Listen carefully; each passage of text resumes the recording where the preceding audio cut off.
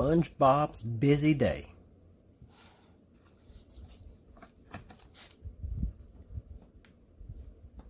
It was SpongeBob's day off from his job at Krusty Krab.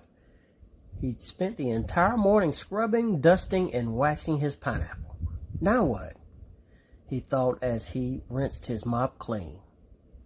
He peered into his refrigerator looking for something to eat, but it was empty.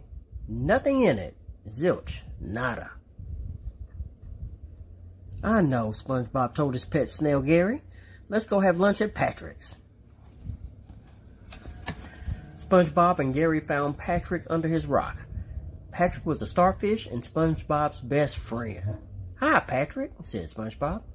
It's my day off and there's nothing in my house for lunch. Do you have anything to eat? Patrick was still sleepy, but he said, Nope, I don't have anything to eat and it's almost lunchtime. Oh, SpongeBob said, sulking. I know. Let's see if Sandy has something to eat for lunch.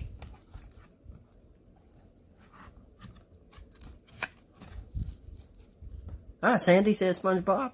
It's my day off. Do you have got anything to eat for lunch? Patrick cut in. Uh, it's almost lunchtime, you know. Sorry, guys, said Sandy. I don't have anything in my house to eat. Barnacles, SpongeBob said, groaning. Then he thought for a moment, hey, I know where we can get some lunch. Come on.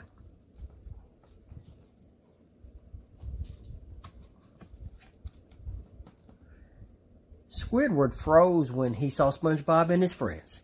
SpongeBob, what are you doing here? he asked. It's your day off. I was uh, really uh, looking forward to it. It's time for lunch, said SpongeBob cheerily. And this is the best restaurant in Bikini Bottom. What's a day without a crusty Krabby Patty?